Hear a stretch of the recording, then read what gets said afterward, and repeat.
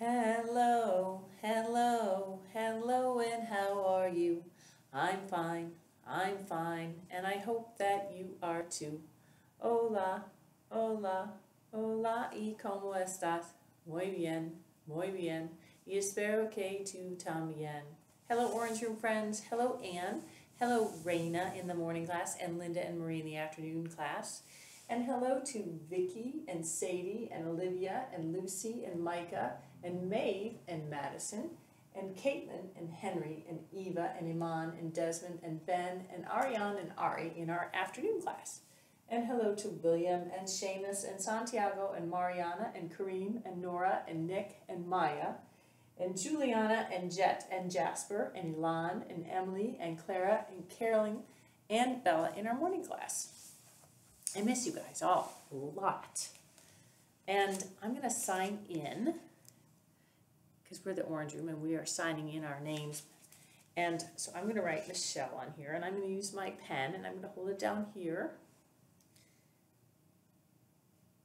And maybe you can sign in at your house on uh, some kind of piece of paper with a crayon or a marker or whatever you have. It's good to practice getting to know the letters of your name and what it looks like. And we are going to move into our calendar. I'm getting of sunlight in my window, so let's see if we can get up close here. So we're in the month of May, and yesterday was Monday. And we, let's count how many days we've had so far. One, two, three, four, five, six, seven, eight, nine, ten, eleven. We're trying to find out what comes after eleven. And so yesterday was Monday, and what comes after eleven? That's what we need to know. So let's do our song. Ready?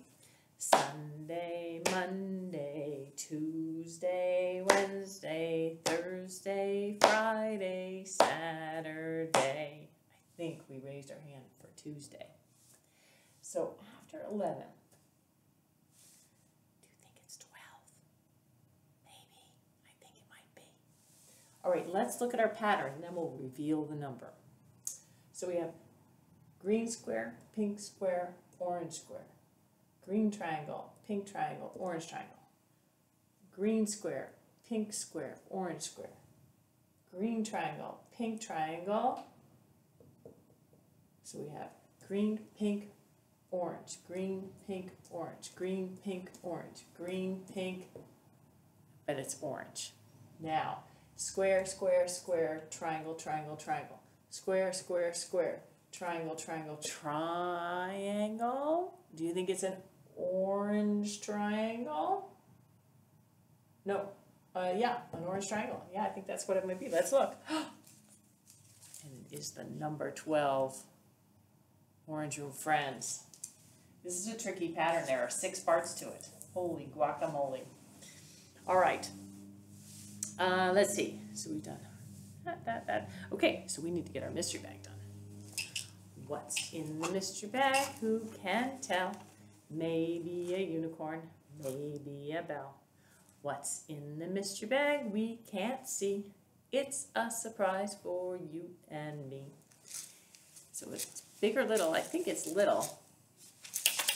It makes a noise. Is it hard or soft? It's hard. Okay. Clue number one. they are made of wood or plastic. Well, lots of things can be made of wood or plastic. Um, let's see. Very much in the sun. I'm trying to angle it, so I'm not. Oh, there we go. Okay. Um,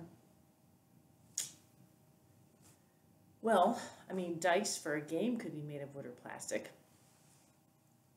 See, clue number two. They can hold little pieces of food, like a small sandwich or a piece of cheese. Okay, so they're made of wood or plastic, and they can hold little pieces of food like cheese or a sandwich. Hmm. Hmm. I mean, a little, a little tiny like clay saucer could hold that. I don't think that's what it is though. Let's see, clue number three. They can clean your teeth. Okay, so let me get this straight. I can clean a tooth with it.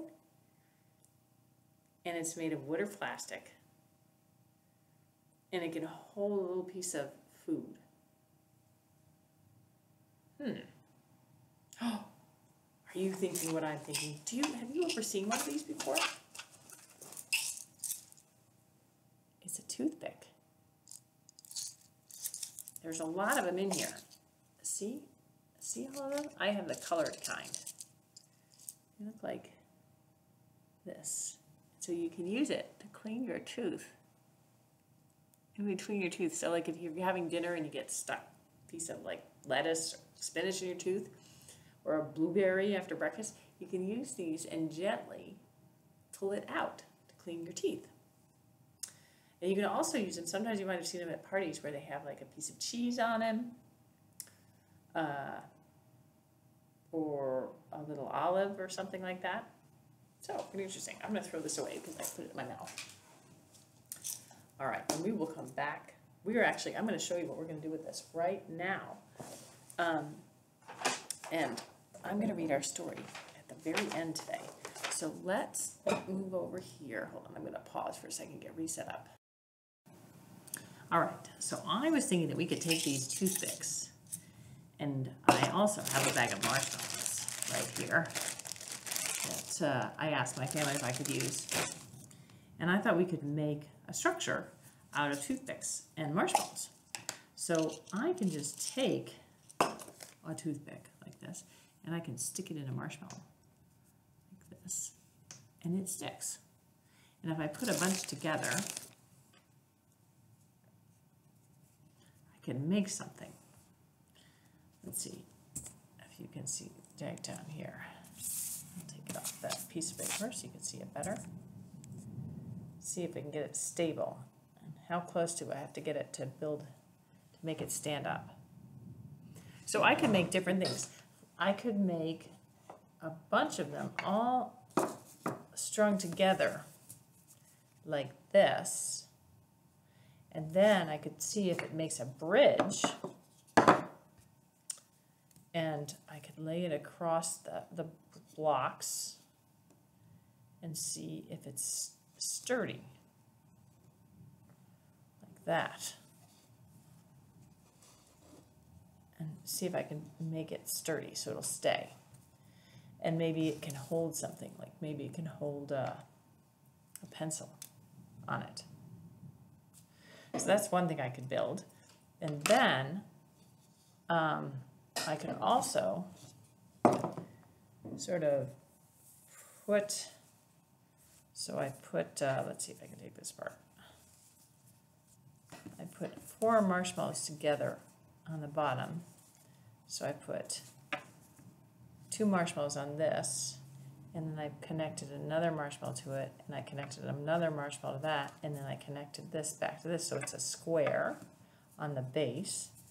And I put them all together, and then if I put these marshmallows, I put a one toothpick in and a marshmallow there, and one marshmallow and a on a on a toothpick over on this side and then I put two toothpicks in this marshmallow and I put it into this like this. How high could I build this tower before it would fall?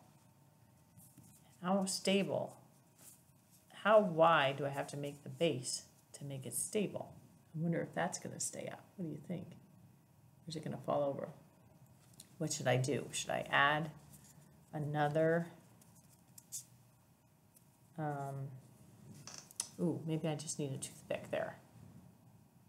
That sorts on the, on the, does that help it stay stable? I wonder if I could keep adding toothpicks to it and, or marshmallows on the top. How stable do you think I could get that? So I can play around with this and figure it out. And I'm wondering what kind of towers, could you make a bridge? Um, and how tall can you get it?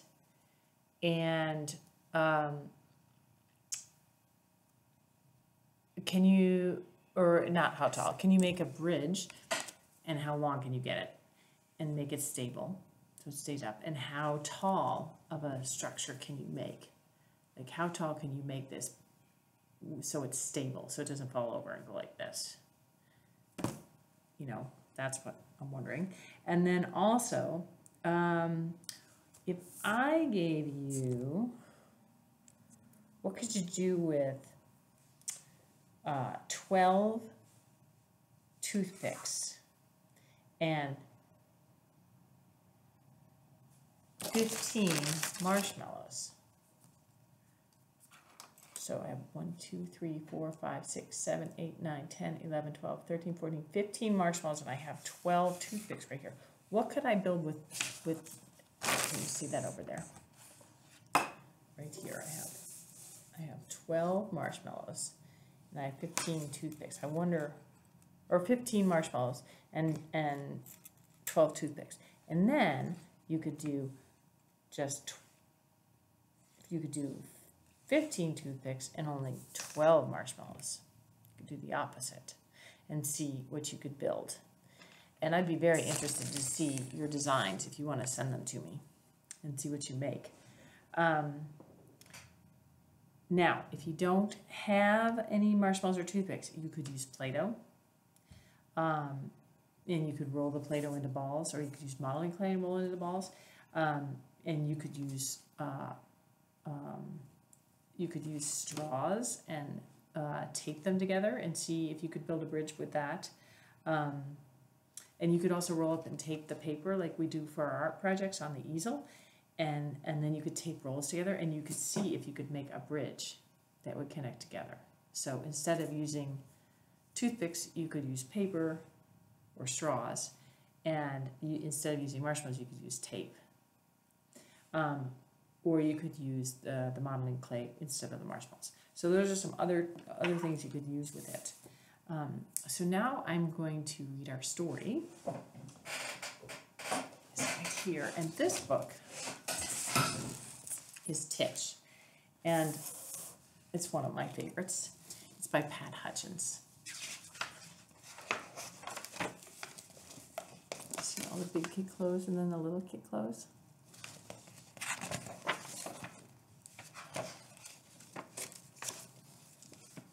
Titch was little.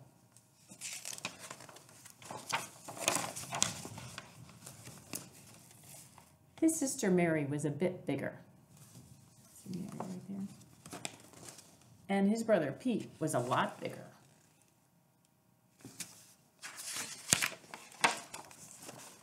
Pete, sorry, this book is old and falling apart. Pete had a great big bike.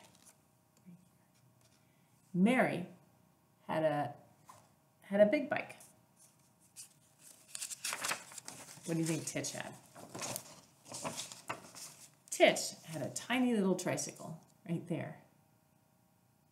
They're nice to bringing him along with him though. Pete had a kite that flew high above the trees. And Mary had a kite that flew high above the trees. Or high above the houses. First flew high above the houses. You see that? And Titch had a pinwheel that he held in his hand. See him right there? They're bigger than him, right? They can do different things. So Pete had a big drum. And Mary had a trumpet. Drums make a lot of noise, don't they? Trumpets make a lot of noise. And Titch had a little wooden whistle. That makes a noise, but not as loud, does it? It's not as big. Look at the size of the, the drum and the trumpet versus his little whistle. It's smaller, isn't it? Pete had a big saw. And Mary had a big hammer. What are they making? And Titch held the nails because they're small and he could hold them for them, right?